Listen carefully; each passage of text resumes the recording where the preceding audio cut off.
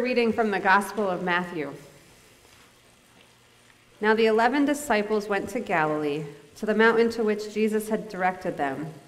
When they saw him, they worshipped him, but some doubted. And Jesus came and said to them, All authority in heaven and on earth has been given to me.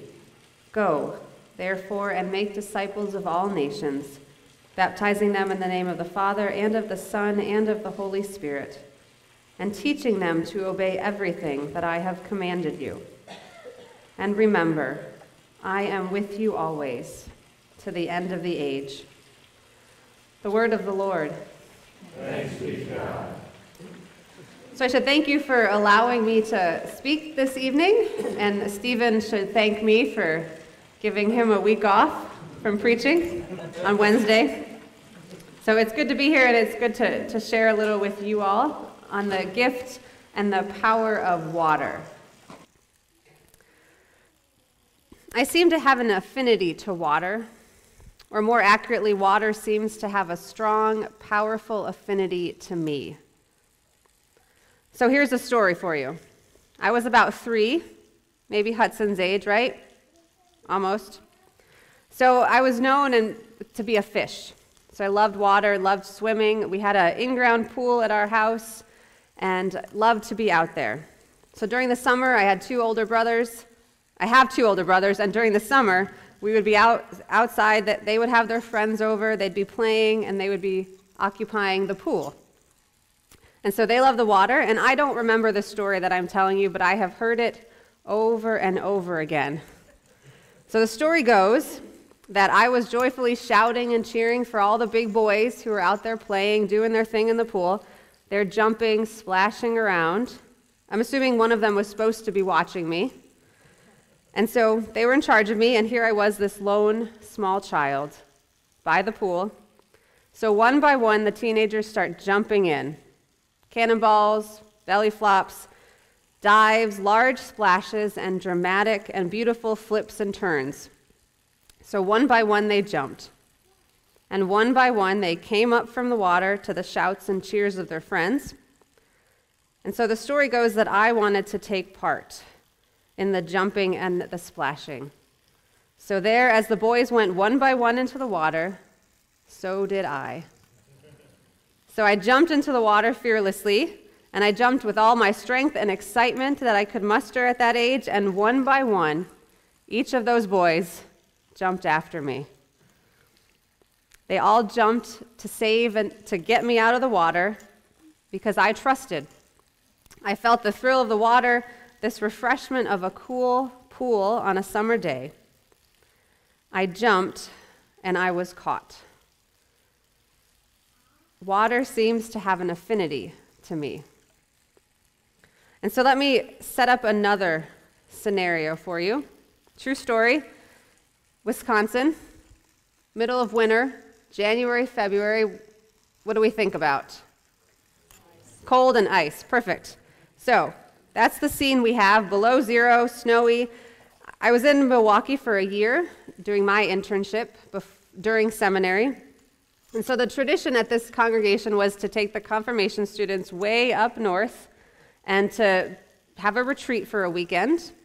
North Wisconsin, ice all along the lake.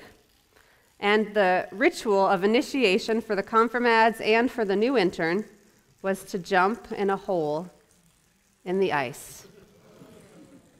So, there we are. It's my first retreat with all these confirmation students, with my supervisor, with everybody nervous and anxious. The students who had not jumped in the lake before, everybody was geared up and frenetic and crazy.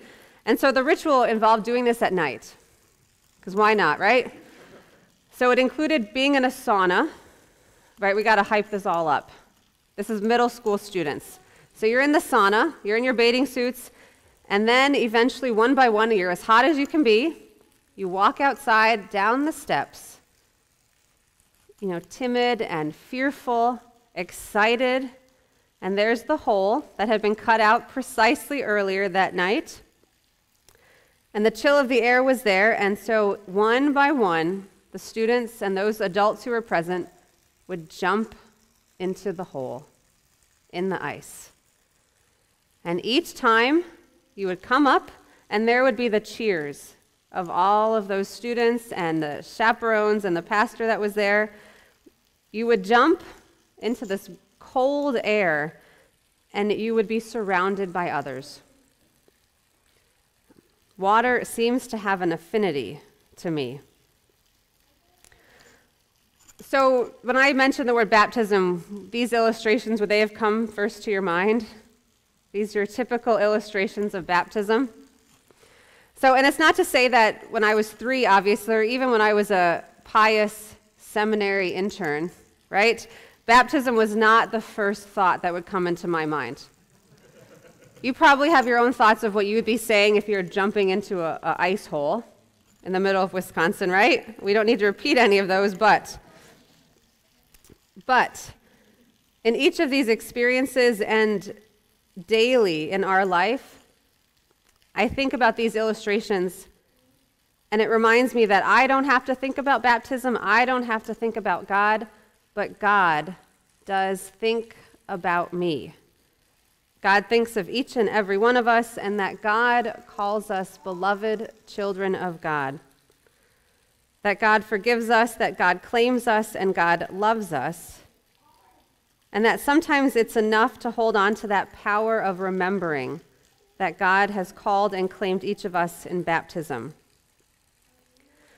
So, from these unexpected places of baptism, I learned something important about this God that we serve and the gift that we get in water and being claimed and bound to the body of Christ.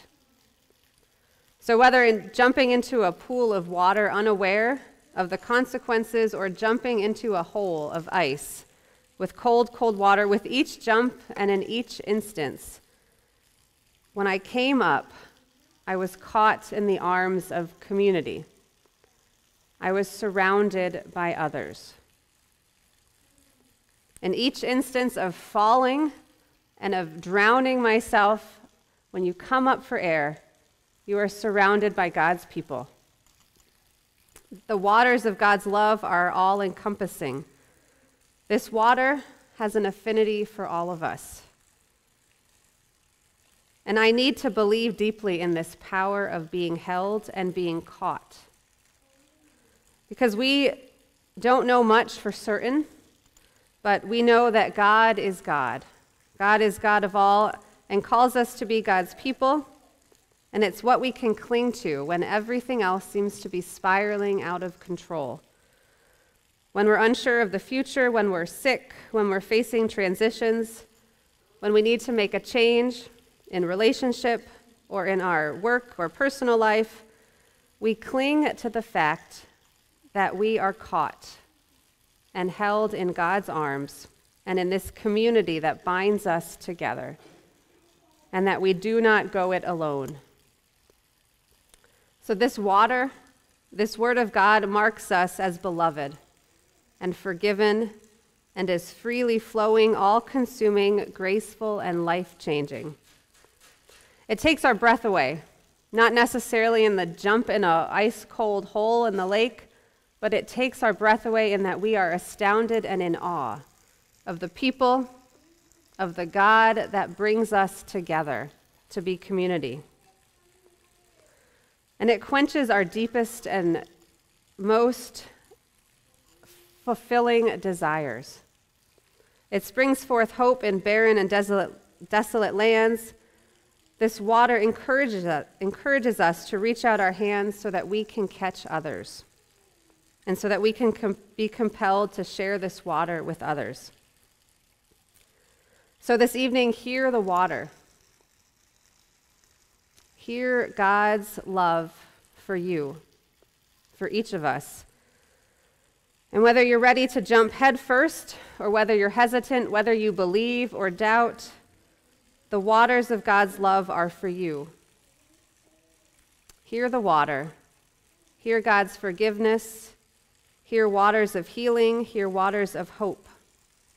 They are springing forth, they are bubbling, they are yearning to be shared with the world. These waters are for all of us, for you, for me, for this world, and we go forward knowing that we are caught in God's all consuming and loving embrace. Amen.